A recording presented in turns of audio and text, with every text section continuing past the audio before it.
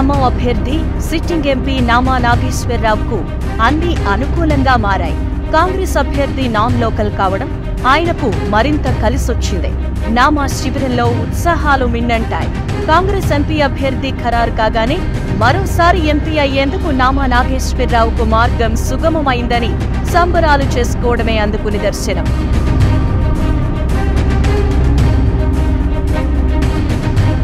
అధికార పార్టీ నుంచి పోటీలో నిలబడ్డ వ్యక్తి ఓటు ఖమ్మం లోక్సభ పరిధిలో లేదు. కనీసం ఆయన ఓటు ఆయనకు వేసుకునే పరిస్థితి లేదు. అంతేకాదు కాంగ్రెస్ కండువా మెడలో లేకపోతే ఆయన ఫలానా పార్టీ వ్యక్తిని ఆ అభ్యర్థినెవరూ గుర్తించరు. అలాగే స్థానిక ప్రజలకు ఆయన ఎవరో తెలియదు. ఆయనకేమో స్థానిక సమస్యలు తెలియవు. ఈ క్రమంలోనే ఎన్నికలప్పుడు మాత్రమే వచ్చి తర్వాత సూట్ కేసు సర్దేసుకుని పోయే వ్యక్తిగా ఆయనపై ప్రచారం జరుగుతోంది. మరోవైపు బీఆర్ఎస్ తరపున పోటీ చేస్తున్న నామా నాగేశ్వరరావుకు ఖమ్మం బిడ్డగా పేరుంది.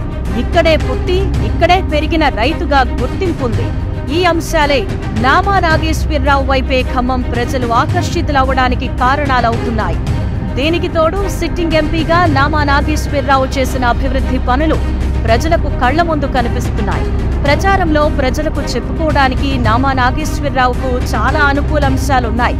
కానీ ప్రత్యర్థి పార్టీల అభ్యర్థులకు ఏం చెప్పుకోవాలో ప్రచారంలో ఎలా ముందుకెళ్ళాలో తెలియక నీళ్ళు నవ్వులుతున్నారు పార్టీ పేరు అక్కడున్న ఇతర నాయకుల పేర్లో చెప్పుకుని ఓటు అడుగుతున్నారు అందుకేనేమో నామా గెలుపుపై ధీమాగా ఉన్నారు.